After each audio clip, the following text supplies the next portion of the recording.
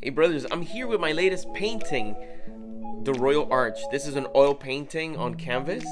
I made this one earlier this year and I've been waiting to share it with you. I can't wait for you to see all the details. I'm gonna show you a, a couple of little instances here where you can see the sun and the moon. You can see the Pleiades uh, constellation. You can see the Lewis holding up the keystone of the arch course, you have the all seeing eye, square compasses, you have a lambskin apron, and there's a couple more things hidden around, but hopefully you like it. It's available on thewindingstairs.com right now. Go check it out.